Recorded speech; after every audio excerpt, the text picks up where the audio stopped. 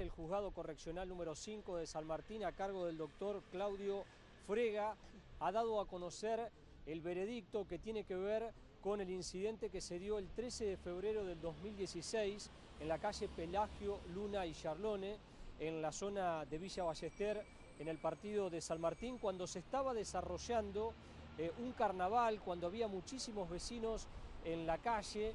Luciano Al, que estaba celebrando su cumpleaños con un grupo de amigos, cruzó la calle e imprudentemente una patrulla de la policía de la provincia de Buenos Aires a toda velocidad atropelló a Luciano y él murió en el hospital. Por eso han sido condenados Jonathan Godoy, un oficial de la policía de la provincia de Buenos Aires de 26 años, a dos años y diez meses de prisión en suspenso, con 10 años de inhabilitación para manejar y está pasado a disponibilidad en la fuerza.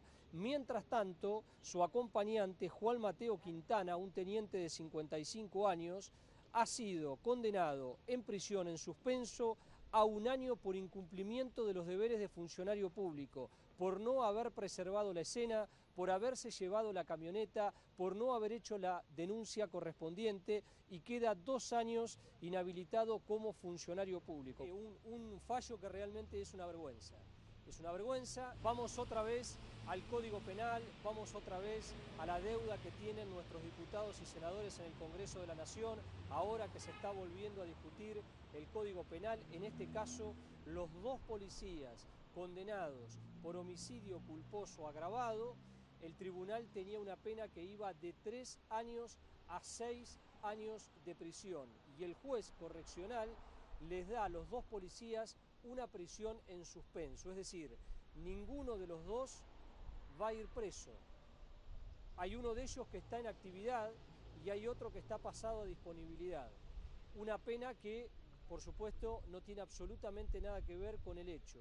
Una camioneta de la policía que estuvo parada en una esquina, observando el carnaval, mirando el movimiento de los vecinos, de los chicos jugando en la calle. La camioneta salió, desarrolló una velocidad mínima, mínima, de entre 47 y 53 kilómetros, con un cambio y aceleración a los 30 metros, con lo cual la camioneta pasó mucho más rápido y los videos demostraron la actitud temeraria y responsable de los dos policías que viajaban en esa camioneta y que tampoco iban a cubrir una emergencia que ni siquiera se hubiera justificado por el Código de Tránsito. Lo que pedimos como familia a, acabar el juicio de nuestro hijo es el cambio de leyes, eh, una pena más dura, eh, porque ahora ellos fueron a sus casas con sus familias, eh, continuarán su vida normalmente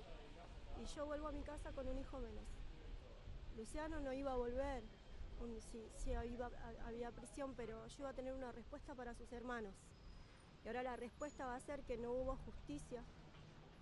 La respuesta va a ser que, en este país quien mata no, no paga las consecuencias. Que piensen en el dolor de las familias que, que nos vamos a nuestras casas sin ese hijo, sin ese marido, sin esa esposa para que, empiecen a darnos una respuesta a nosotros como familiares y a, todos como, como, sociedad.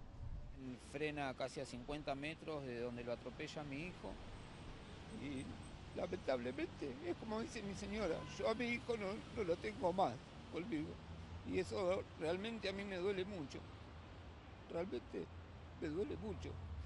Que, se, que dicen que se fue, que se llevó el patrullero para preservar la, la, pericia de mentira, se fue, huyó del lugar. Lamentablemente lo tienen que condenar, que cumplan, que cumplan, que le den un cumplimiento efectivo, que hagan algo, que cambien las leyes. ¿Cuál, ¿Cuál, fue la actitud de los policías en el juicio? No, la actitud en el juicio era muy sobradora por parte del acompañante y la verdad que me da mucho asco verlos así, a los dos.